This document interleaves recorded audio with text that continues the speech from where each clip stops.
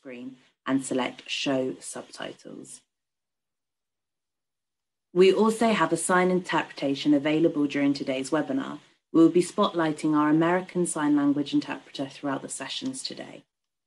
During the webinar, please put any questions or comments in the Zoom Q&A at the bottom of the Zoom app. We will be reviewing these and get through as many questions as we can. This webinar will be recorded. We will share the recordings with you shortly after this webinar. The MYT team are here to help you with any technical difficulties. Please use the Zoom chat facility to ask any technical questions or email the team at admin at sightsaversevents.com where MYT will be able to help you. We will begin with a short recording before handing over to Simon Brown.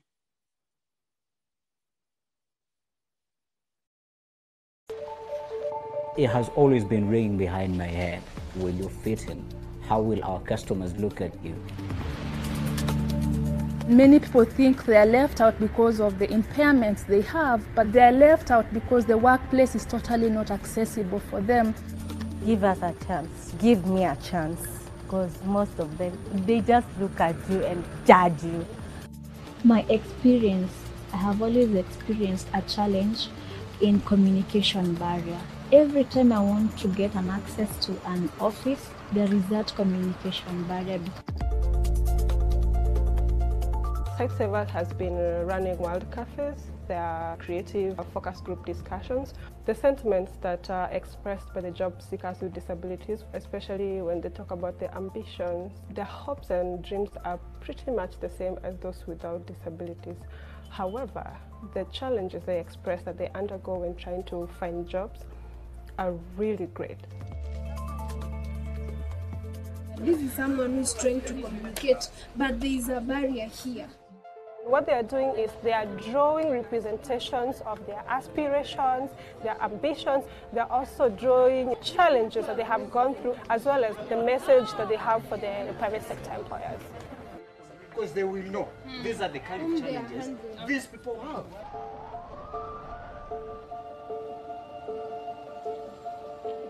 Inclusion Works very simply builds the disability confidence of employers and the employment confidence of job seekers with disabilities and then acts as a bridge between the two. We've had staff with disability work amongst us over the years. It's been a journey of learning and relearning and unlearning. There are many things that we have believed that we knew, and they have taught us a lot. I think there is a bit more work that we need to do, and that is what we are being asked to look at. Sightsavers is encouraging employers to hold open days with people with disabilities because they provide the employers an opportunity to hear directly from the job seekers with disabilities. It also provides an opportunity for the job seekers with disabilities to interact with the employers and know that the employers are actually approachable. The fact that they were open for a discussion with us, that really changed a lot. Earlier on, I thought about Standard Chartered and uh, I thought, ah, no, it wasn't an employable environment. But that notion changed on that day. The experience at Standard Chart was very exciting. First company opening up their doors to have such discussions on issues not everybody wants to discuss about. That stood out for me. Populations which have more inclusive people with them do better in terms of business. But away from the research, we believe in Standard Chartered It's simply the right thing to do. When I think about this country, there is a lot of goodwill. People want to do the right thing. We want to appeal to the private sector to have the face of Kenya in your organizations. The face of Kenya includes persons with disability. They should take advantage of the opportunities that have been opened by government in terms of incentives. We feel that persons with disability need to be contacted and give input on how best they should be accommodated in the society and not be spoken for. Persons with disabilities are looking for good jobs that they can make careers out of. And that's the opportunity for us in the private sector or in the public sector or in the non-government organizations to then come out and just make it happen.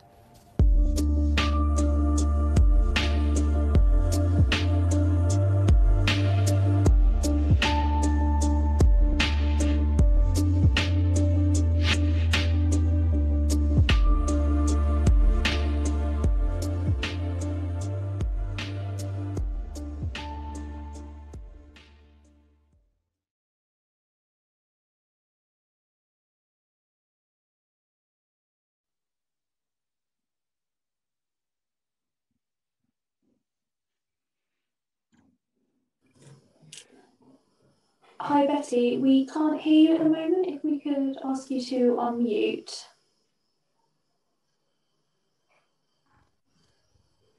I'm sorry. Okay. Hello, everyone. Good morning, good afternoon, and good evening, depending where you are. Welcome to the Zero Partners channel session that is hosted by Sightsavers um, inclusive, uh, Inclusion Works features. My name is Betty Najjemba. I work as the Organizations of Persons with Disabilities Engagement Officer uh, for Africa um, here in Uganda. Because, okay, I'm going to present today through my sign language interpreter, she's Liz, because I'm a deaf person. So this project of inclusion works. It's a three-year project that is funded by UK Aid uh, that is evidencing how the labor market systems can be more inclusive of persons with disabilities in formal employment. Uh, in Bangladesh, Kenya, Nigeria, and also here in Uganda. Um, we have invested time in understanding how the labor market systems function in those four countries. So we are now focusing how to address the barriers that have excluded persons with disabilities from meaningful participation in, uh, in employment. So we all know the fundamental problem in the society and around the world where human rights violation has been there. But one thing that we have started addressing in the systematic way is building disability confidence um, and employer confidence around the world. So building the self-confidence and employment readiness for persons um, that are job seekers. So what we are doing right now, we are also focusing uh, on nurturing support systems, um, functions, and also the regulatory framework, which can promote and protect the employment rights of persons with disabilities. So what we do also, we have um, we have many stories to say, but I want to hand over to my colleague, um, uh, my co-host, Simon Brown from Sightsavers, uh, to introduce to us a session. Uh, Simon, you're welcome. Thank you, Betty. That's very kind. And um, as Betty said, good morning, good good afternoon, good evening to to everybody around the world, and thank you for for tuning in to to this session. Um, my name is Simon Brown. I'm the Global Technical Lead for Economic Empowerment at Sightsavers. Um, what we've known um, well before the coronavirus is that the world of work, the world itself becomes ever increasingly digital. If I go back decades ago when I first started working in IT, um, in the early 1980s, when I worked for Barclays Bank, we already began, began to see the, the beginnings of that.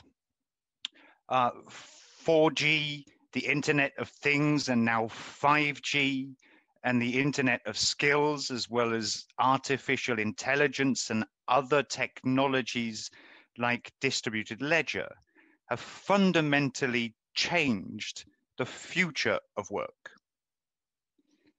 And then along came the coronavirus with all of its health and economic uh, uh, crises and, and, and implications, um, but also came as a force in further accelerating technological changes um, in the way that we live our lives and in the way that we work. Distanced working has suddenly become a new normal, not necessarily beautiful, but a reality. And that distance from physical task and from colleagues is something we can at least live with. And so the combination of these two, the distancing and the digitalization, then presents quite an interesting potential proposition of leveling up for people with disabilities. Um, and that's going to be the focus of this, this session, the trends, the opportunities, but also the barriers this increasingly distanced and digitalized future of work presents for people with disabilities. And so I'm going to turn to, to first to, to Evans Munyori. Uh, Evans, as, as Standard Chartered Bank's head of human resources in Kenya and East Africa, you are particularly well positioned to talk about a distanced and digital future.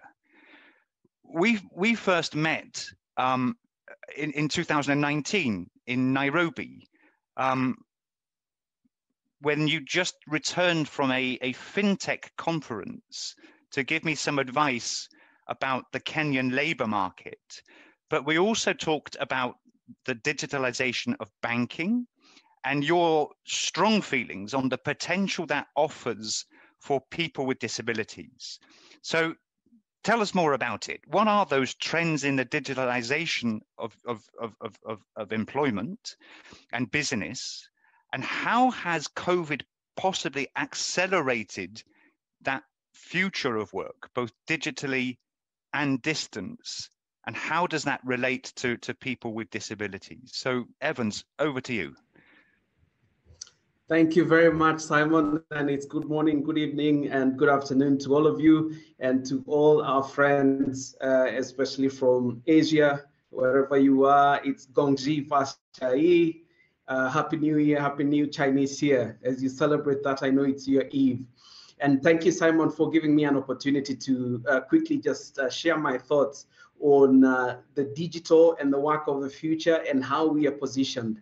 And true, yes, we did meet when I had just attended a fintech conference in Nairobi, having organized two or three days by our regulator, which is the Central Bank of Kenya.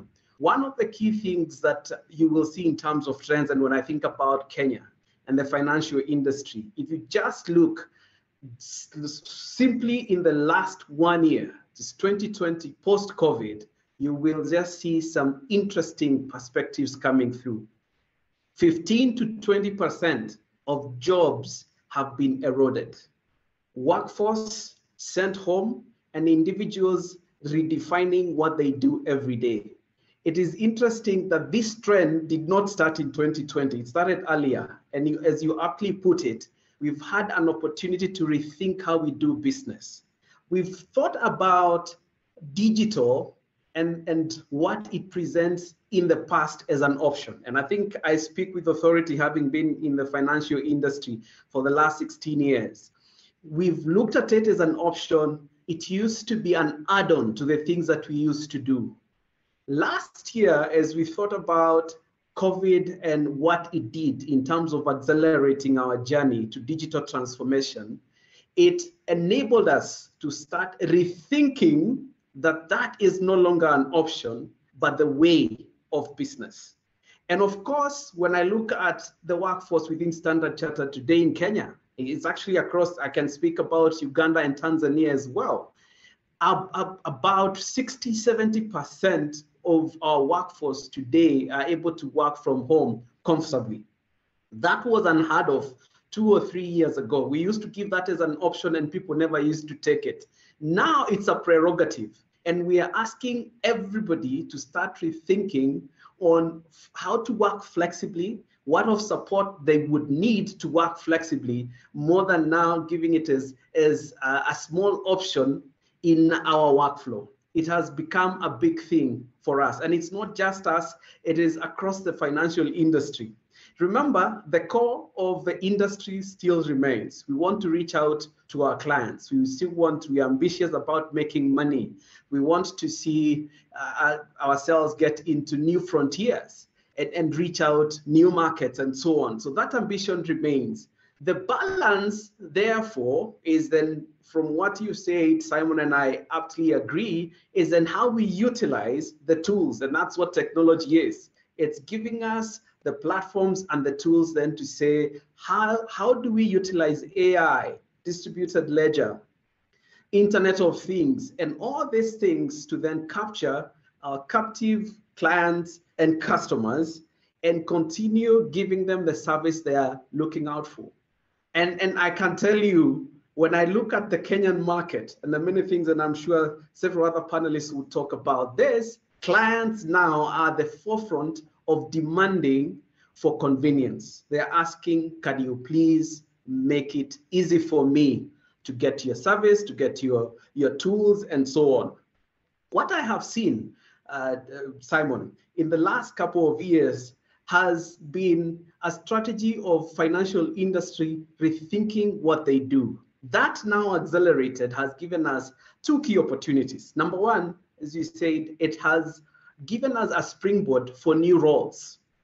Some jobs are falling away, and, and that is uh, definitely expected, and many other jobs will continue falling away into the near future. However, it gives us an opportunity for very many new roles. And the question, and I think this is what I posed to you when we met, is what sort of help do we start to give to our people with disabilities? And not just them, it's actually a whole ecosystem on how do we accelerate new skill sets. We are talking about technical and human skill sets. There is a lot of things that, uh, as you say, off the internet on what would be required. I know from a financial industry, we are thinking digital, we are thinking data.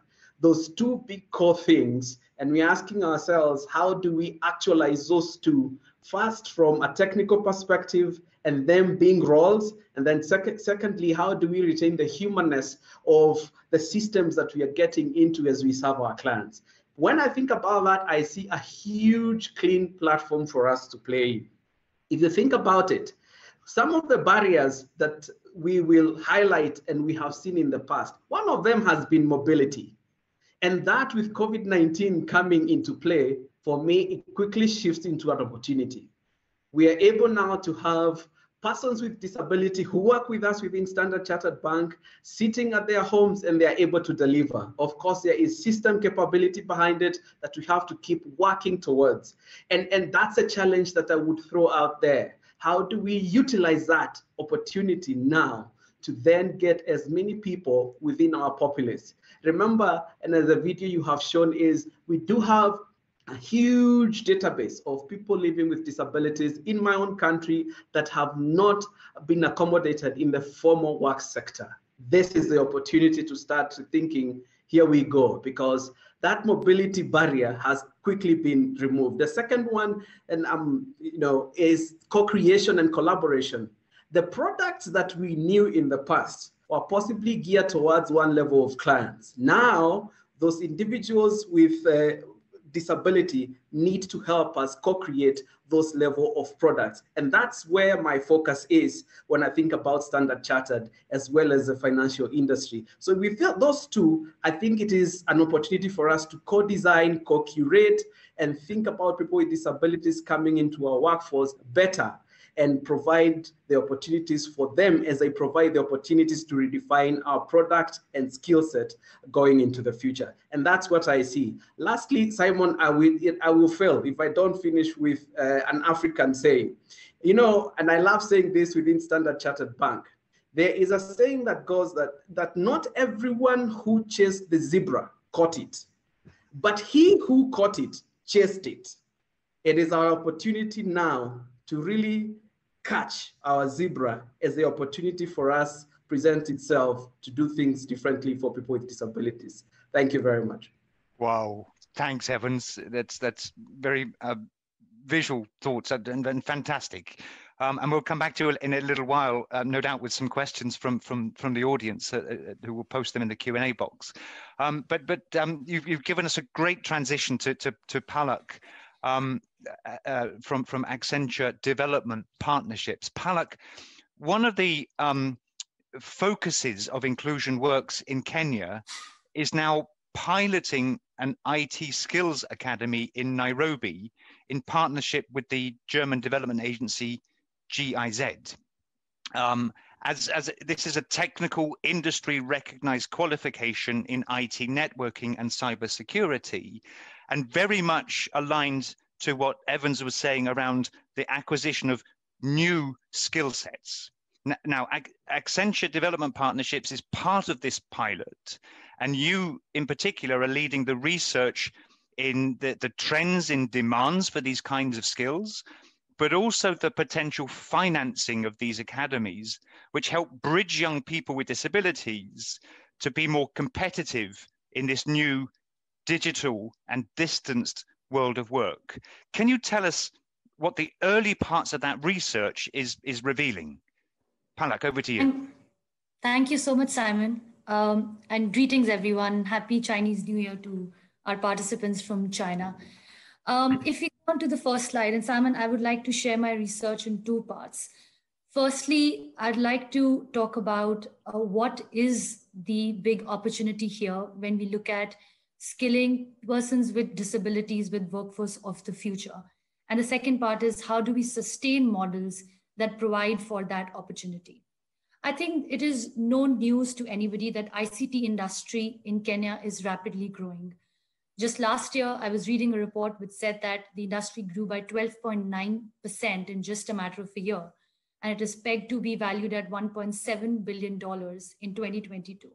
So the opportunity is huge. And obviously, with a growing sector, one thing very natural to come is a lot of jobs. And I think Evans mentioned that certain jobs have been lost and certain new jobs have been created.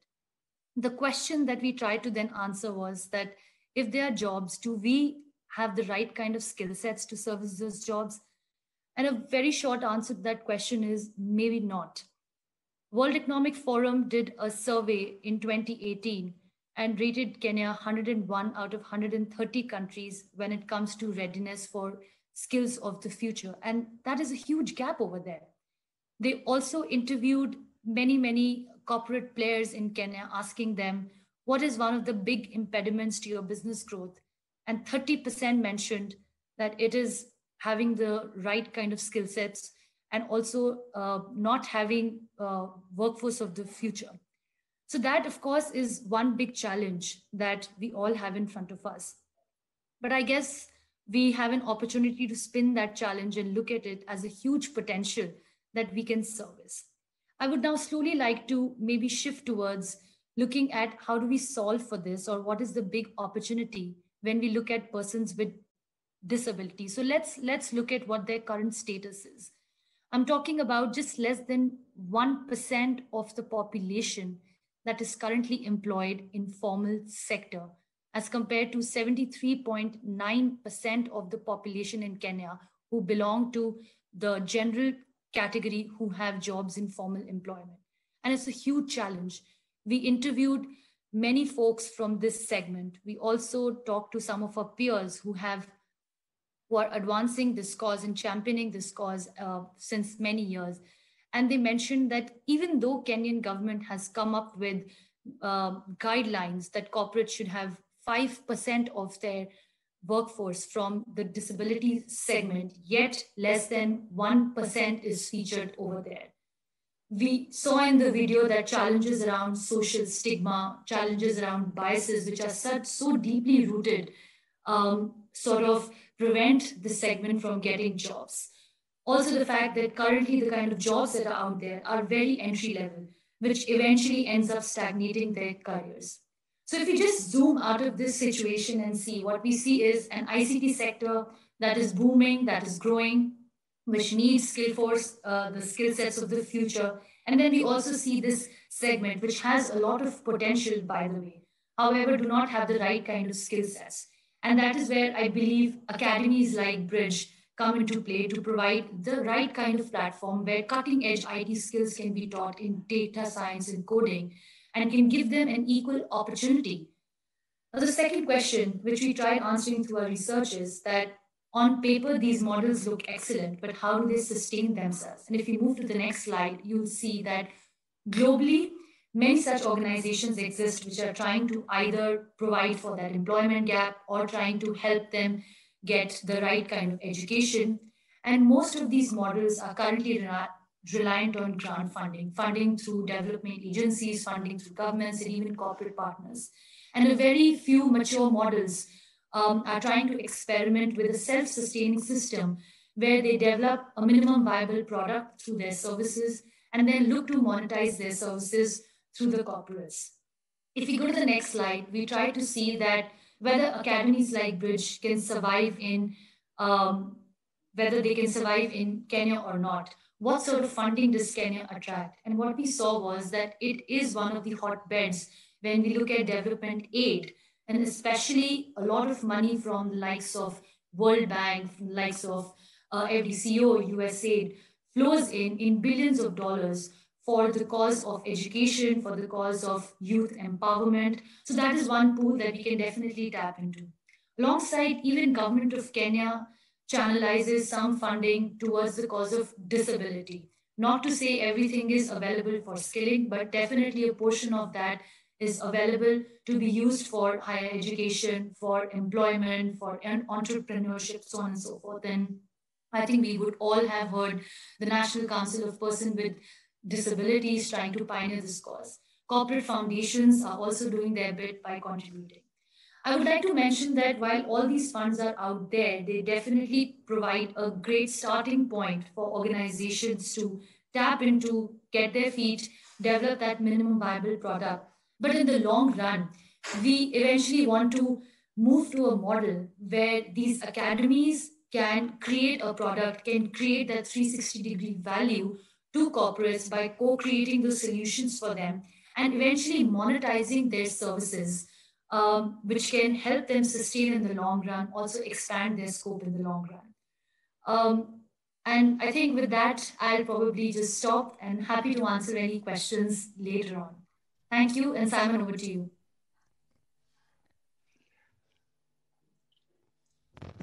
Okay. Thank you so much, Palak.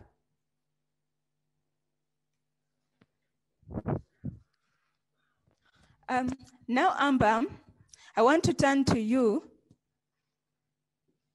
Um, so it is really clear what we have heard from Evans and Palak that there is a great opportunity, but also um, facing some realities.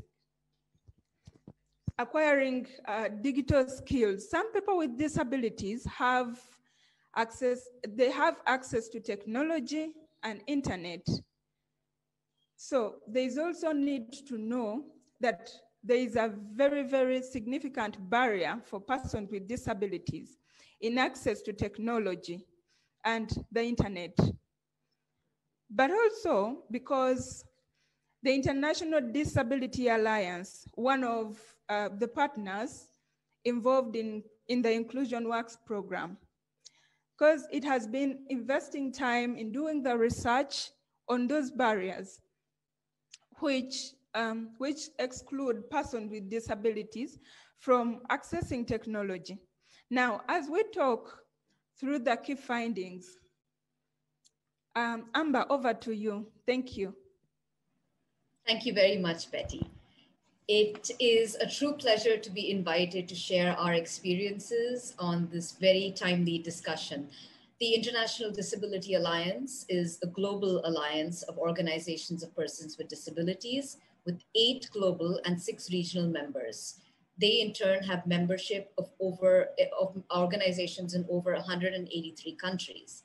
Our focus areas include advocacy towards the UN, capacity building of organizations of persons with disabilities, as well as supporting disability inclusive development programming and humanitarian action. the impact of underrepresented groups of persons with disabilities receiving support to attend in-person trainings eh, alongside their peers is tremendous. They have opportunity to build social capital, uh, to exchange ideas, and also gain confidence in presenting and facilitating trainings. And this is where our experiences are coming from. There's an impact on the disability movement as well, recognizing the value of their perspectives and understanding how to support their participation, which has been reflected most recently in an external evaluation of one of our training initiatives, the Bridge CRPD SDGs training program. The same could be said about workspaces and persons with disabilities as well. The pandemic and resulting lockdowns meant that our entire capacity building strategy had to go online. This was a challenge on two fronts. One was regarding accessibility of various platforms available to us, and the other was access to steady, adequate speeds of internet for the majority of DPOs based in the global south. Though the majority involved themselves in all opportunities for discussion, we are aware that many that we were able to reach through our in person trainings were not able to join in.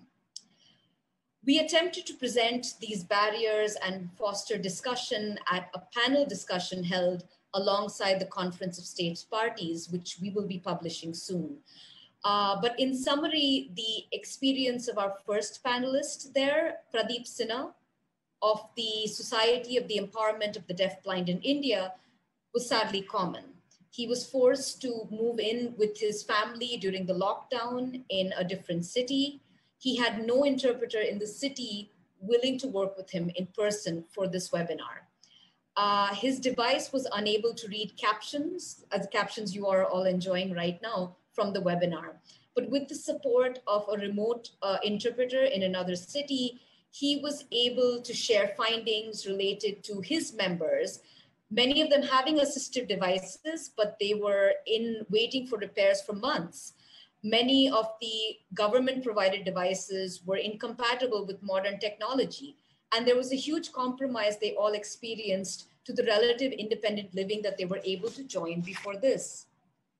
Moses Serwada of the Uganda Federation of the Hard of Hearing spoke about the role of technology in facilitating public participation during the pandemic and how these mechanisms ended up excluding persons with disabilities. Now, the views of persons with disabilities from the global south and their pandemic experiences, the reflection of these have been curtailed by issues relating to accessibility, affordability of internet, and also availability of information in plain, sign, and local languages.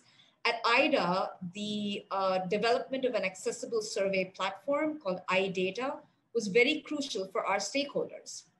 This platform now hosts the Global Disability Survey on COVID-19 in several languages and international sign. Rosario Galarza of Riadis narrated their experiences of introducing an online course for their members and understanding the accessibility needs of participants. The diversity of experiences of online learning has been something that we at IDA have been observing very closely especially as we are in process of developing our own online platform as well, meant to be fully inclusive. This procurement process took five months and deep involvement of our members in testing.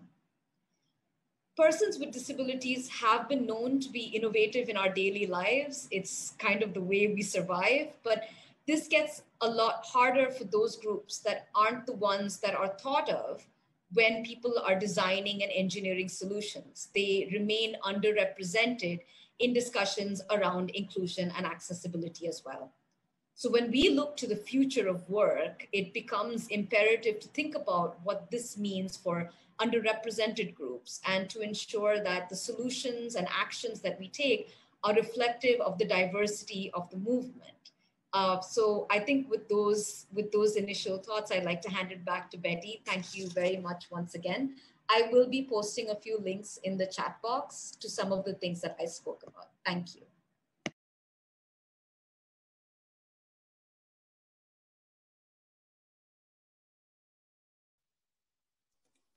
Betty, you're on mute. Your interpreter's on mute.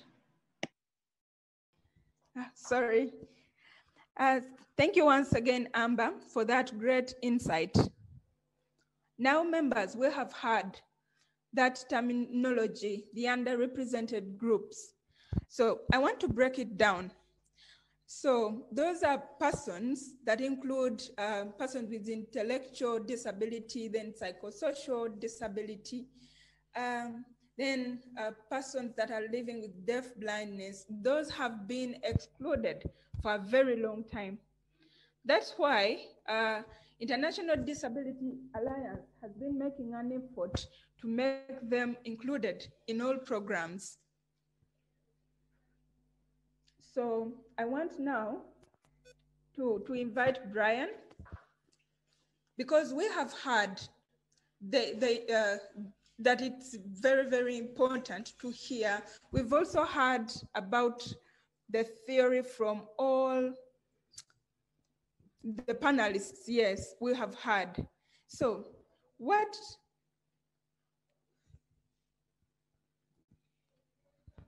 So now we need to know what, what can be done. For example, we also have to think about the question, what can be done to leave no one behind? And uh, for, for everyone and also the youth with disabilities. I also want to talk about uh, the expectations for the future and what, what is it that we need to do in order to make uh, the future inclusive. Uh, so Brian, over to you. You're welcome.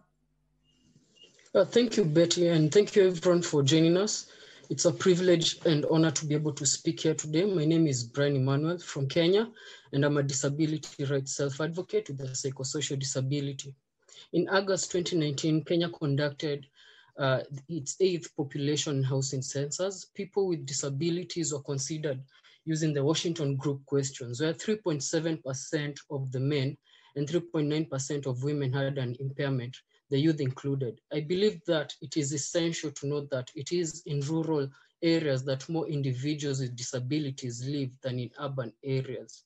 This implies that we have a substantial percentage of disabled youth who are unable to access not only educational opportunities, employment, but also reliable internet connectivity. This is due to marginalization and poverty.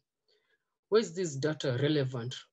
It's because the, the exclusion and marginalization of persons with disabilities is a challenge it's a challenge in reality for many countries in Africa, as well as an economic and human rights issue digital technologies have been able to break the traditional barriers to communication, employment opportunities, connectivity, and availability of information. And this is a window of opportunities for we persons with disabilities to be included and genuinely feel that you are part of a functioning uh, society.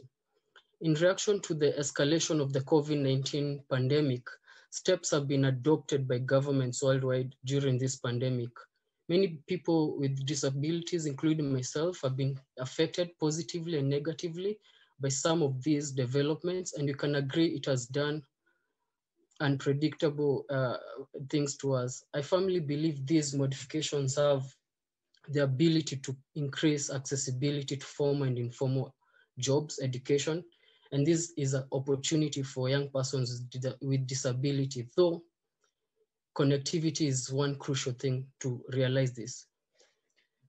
We have limited access to di digital technology, especially in low and middle income countries. In this shift in the paradigm of technology enabled growth, those who have the privilege of accessing internet connectivity have been able to explore new horizons in work and job opportunities. It serves as a guarantee that ensures opportunities for young people with disabilities in the near future. This is what leaving no one behind means to me and my fellow youth with disabilities. When it comes to my expectations for the future and what it is we need to do to make our futures inclusive, we recognize that in all countries across the world, we as persons with disabilities constitute a vulnerable community in the labor market and are often more likely to be unemployed, underemployed, or economically inactive than persons without disabilities. Although there are obvious solutions, part of these responses lies in fostering equal opportunities. And with the new normal, I feel like we should invest more in building back better opportunities by providing connectivity, digitalization, and imparting digital empowerment to young people with disabilities. Under the provisions of the Article 27 of the UNCRPD, for countries that have signed and ratified this convention, we have a duty to work towards an accessible, inclusive future for all, and this is everyone's responsibility. And let's acknowledge that today we have done the necessary, tomorrow we'll do what is possible, and suddenly we shall have achieved the impossible. Thank you so much, Betty, and that was my time. Thank you, Brian. Um, I think this was uh, really important to, to, to hear your voice um, and, and your expectations. Um, and um, we'll, we'll um, for, for sure um, ask to to, uh, to, to, to come back to some of that in a while. Um, but now we're going to move to a, a, little bit around the questions questions and answers. and there's there's a there's a Q&A box uh, that's that's available for those who are joining via the Zoom link, where you can post your questions. There's a, there's a few questions in there, um, and this is an opportunity to ask the the, the panelists um, for some clarification or for or to, to stimulate some some some more discussion. Um, I'm going to ask, um, so please do do make use of that that Q and A box. We've got about ten minutes, so we can get through a, a few a few questions. Um, but let me ask the first question, direct the first question that's that's come there to to to Evans. Evans, there's there's somebody um, I can't see who who actually asked the question, but uh, but he or she is asking. I see a risk for corporates as they manage profits versus hiring multi-skilled individuals which may be that job seekers with disabilities may not be multi skilled or have high level skills. So, what happens or should happen when it comes to bringing on board people with disabilities into formal employment? Um, what can corporates do and commit to? Maybe that's the, the, the crux of the, of, the, of, the, of the question right at the end. What can corporates do or commit to? And, and that's that's that's a good question, Simon. The reality of that question cannot be overemphasized. We have lived with it and done nothing with it. I am a strong believer that even institutionalizing laws and saying, Eh, in our example in East Africa, that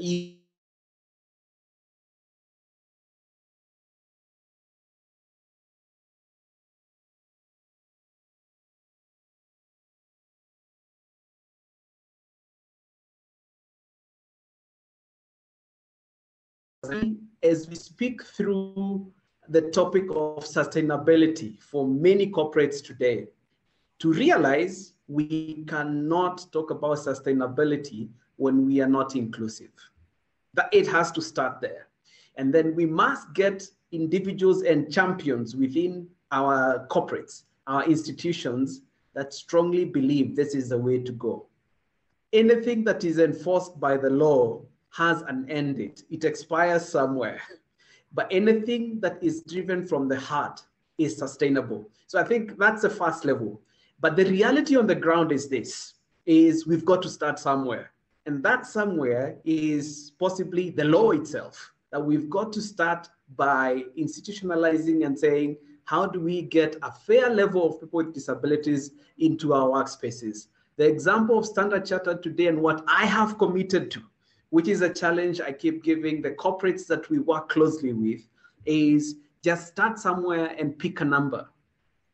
Don't be given the number, pick a number. What makes sense for you within your structures and follow that closely. Standard Chartered this year is working with local universities here in Kenya to bring on board interns as we start thinking and rethinking our workforce in terms of including persons with disabilities.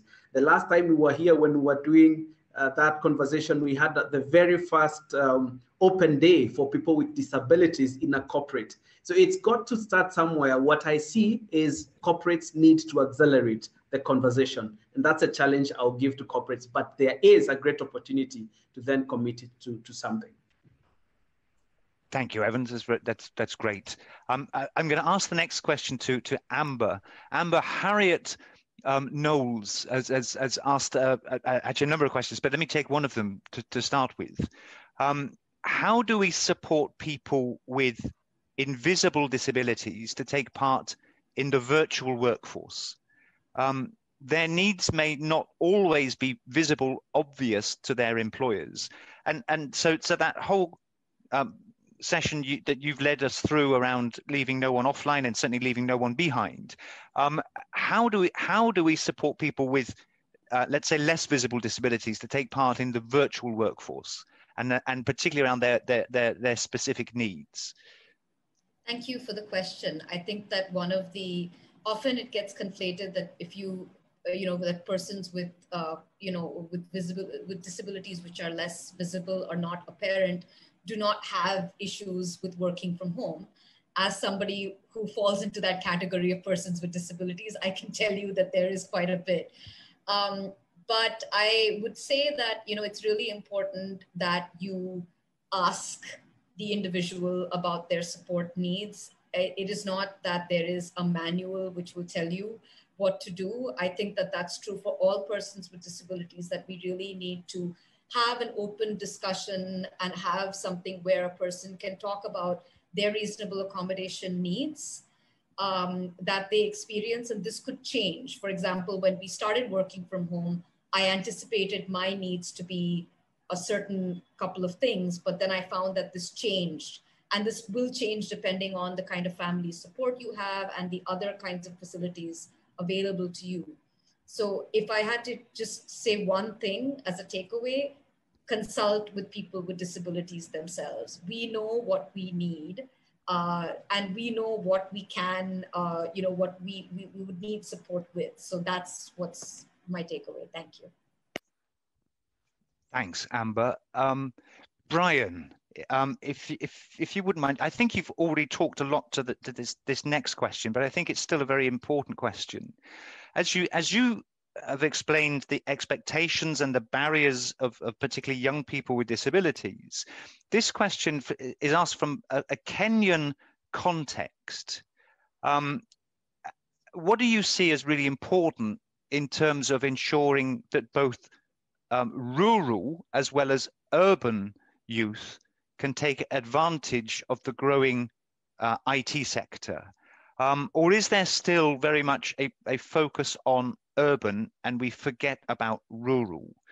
Um, could you add anything to that, yeah, around the rural context of youth with disabilities and the digitalization of work?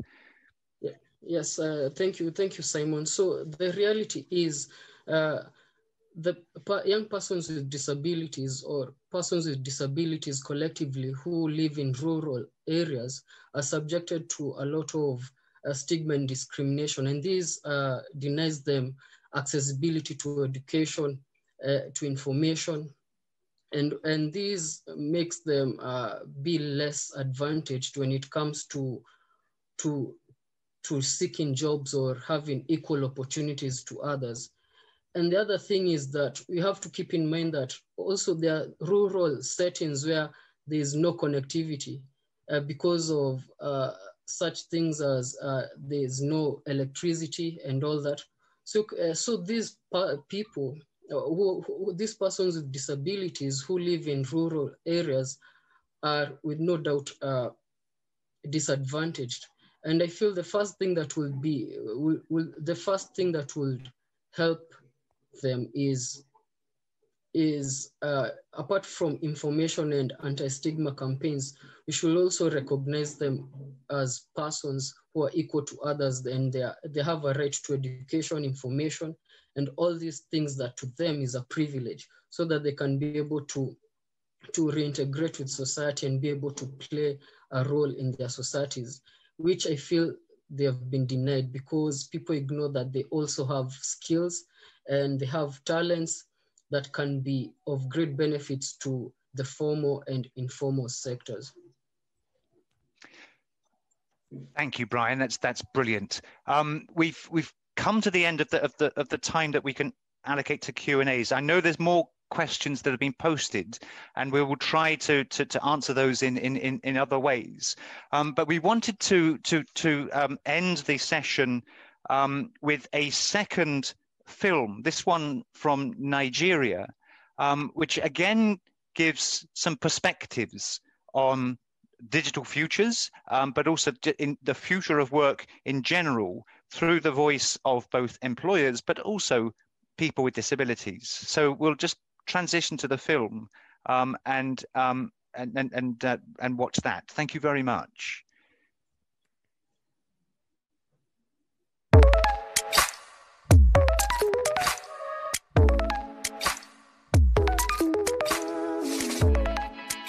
Inclusion Works is transforming the labor market system. We are creating disability confident employers, building employee confidence and the readiness of job seekers with disabilities. Disability for me does not affect anything.